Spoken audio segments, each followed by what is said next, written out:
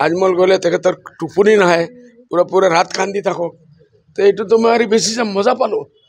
এতিয়া যিমান যিমান গ'লে চিফ মিনিষ্টাৰৰ টোপনি উৰে মই এইচব জেগাত যাম আৰু বেছি কৰি যাম। মিনিষ্টাৰ চাহাবতো শংকৰীয়া নহয়। শংকৰীয়াসকলে মূৰ্তি পূজা নকৰে।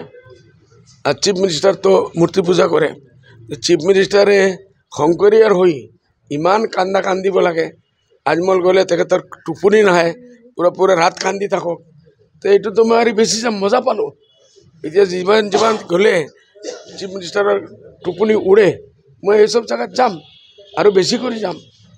অ'কে এজন চিফ মিনিষ্টাৰ তেখেত কৈছে এইটো পলিটিকেল এটা ষ্টাণ্ড হিন্দু মানুহবিলাক ছাইড কৰাৰ কাৰণে। এতিয়া আমাৰ হিন্দু ভাইসকলে ইমান আজিকালি বুজাই নহয়। চবে জানে কোন শংকৰীয়া কোন মূৰ্তি পূজা কৰে কোন কি কৰে কোন কি কৰে। মানুহ জানে আজিকালি মিডিয়াতে।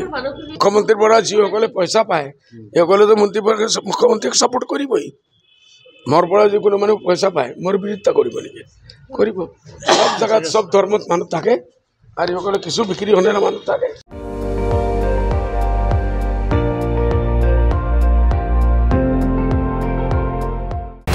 আপুনি চাই আছে এন ডি টুৱেণ্টি ফ'ৰ।